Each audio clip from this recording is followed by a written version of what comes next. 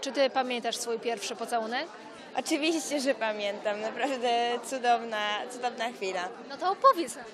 Ojej, nie wiem, czy mogę mówić takie rzeczy. Czy to było takie zaplanowane, spontaniczne, romantyczne?